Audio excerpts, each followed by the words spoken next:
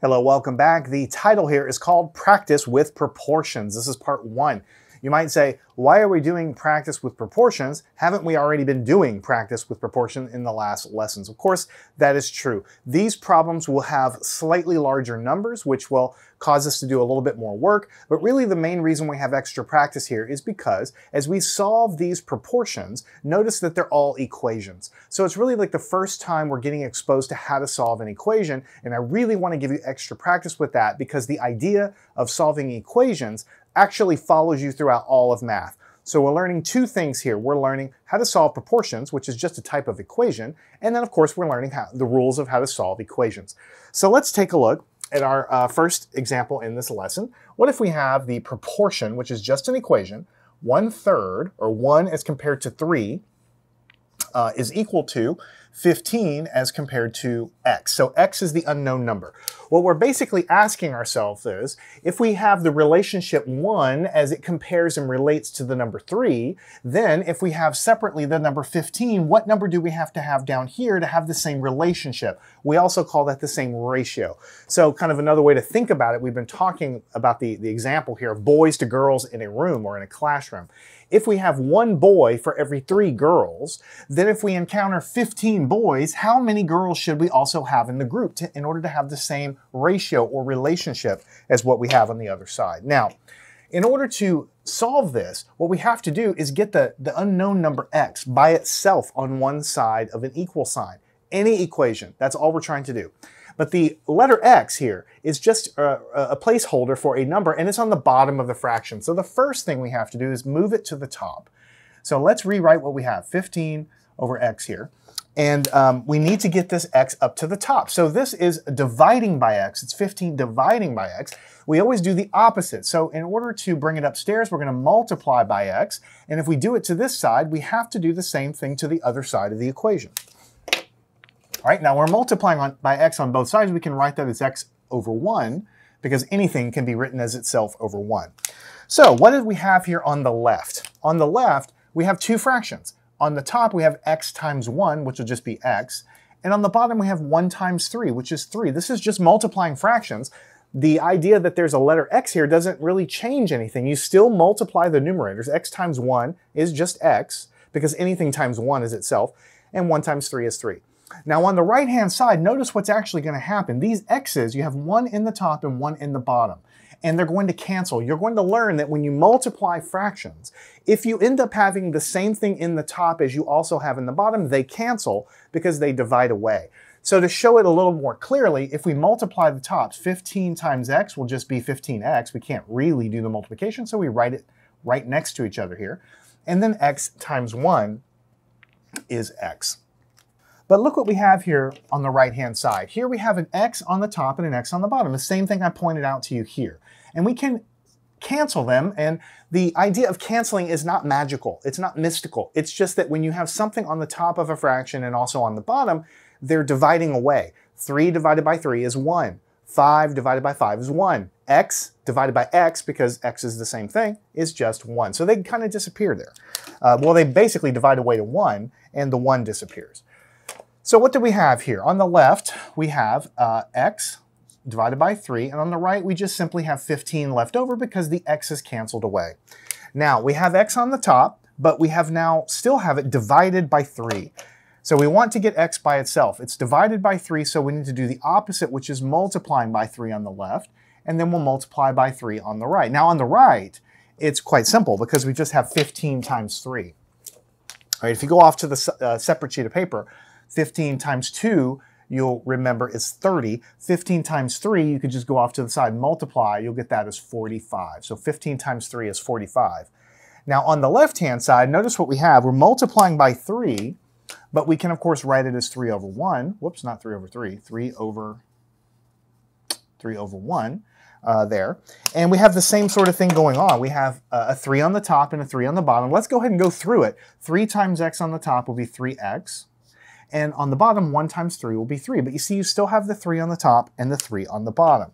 So they go away. They cancel, right? You can cancel them at this step also. You can cancel before the multiplication. Here I'm just showing you kind of every little step here. We're doing it after the multiplication there. So the only thing left is x.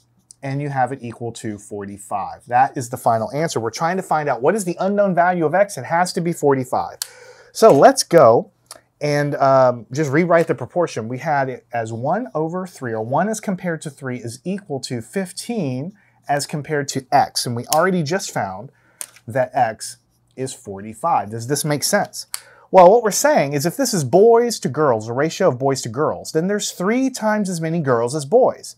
So if we encounter 15 boys, there has to be three times as many girls. And of course, that is three times as many. 15 times 3 is 45. So this is the only number that works. This problem, you could probably just look at it and get the answer. I know that a lot of you are looking at this thinking, I, I can see the answer. I don't need to do all that stuff. But you're going to have to trust me. Very soon, we're going to solve equations that you can't do in your mind. You Nobody can. I mean, I can give you an equation right now that none of, nobody could solve in their mind. So we have to learn the rules. And the rules are to get the variable by itself, using the opposite, doing the opposite operation to get it by itself on one side. That's how we solve it.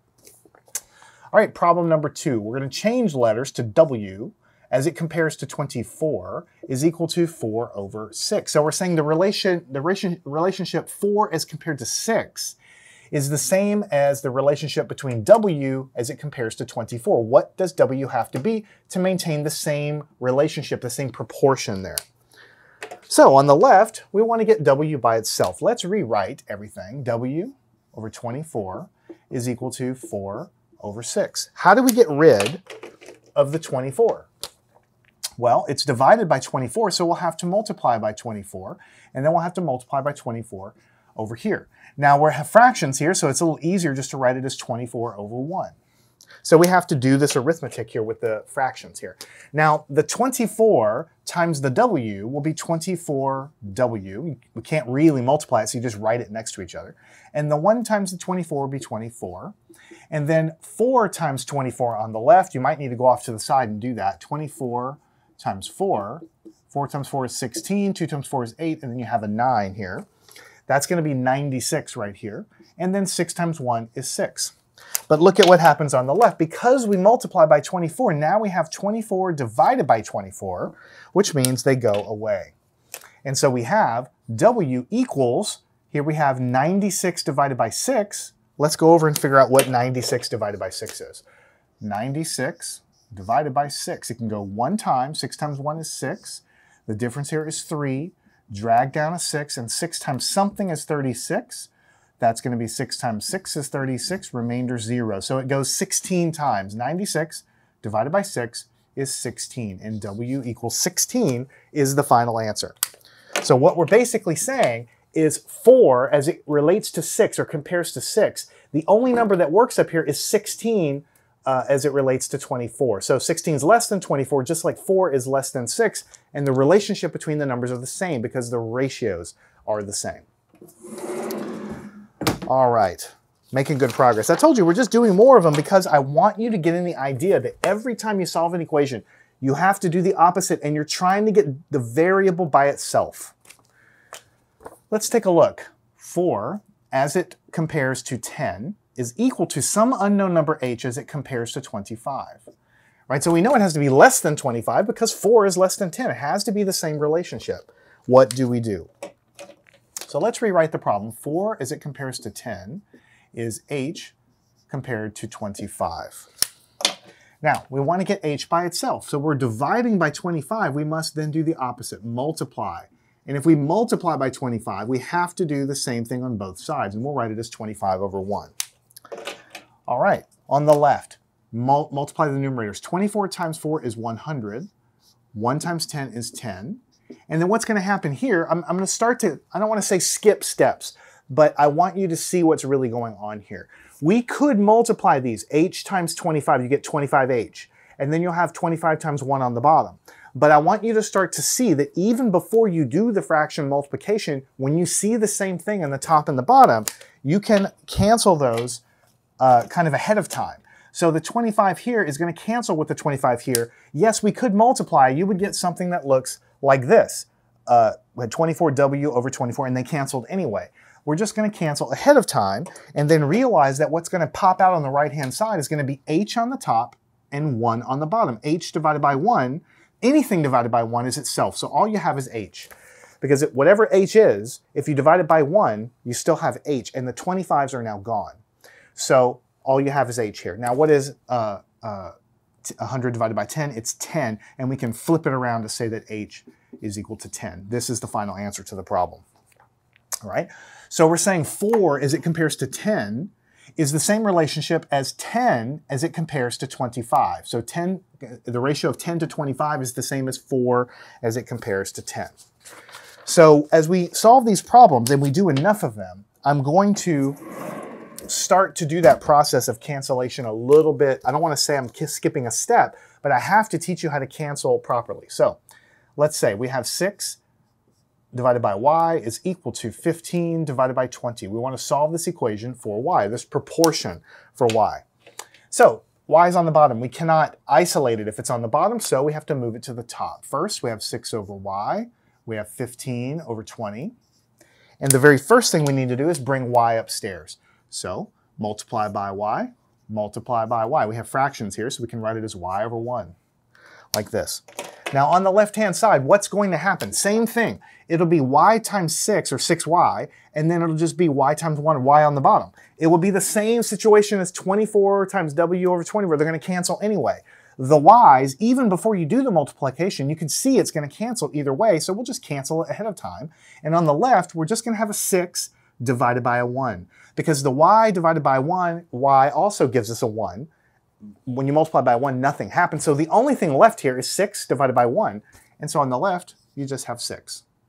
And on the right, you have 15 times y on the top and 20 times 1, which is 20 on the bottom. All right?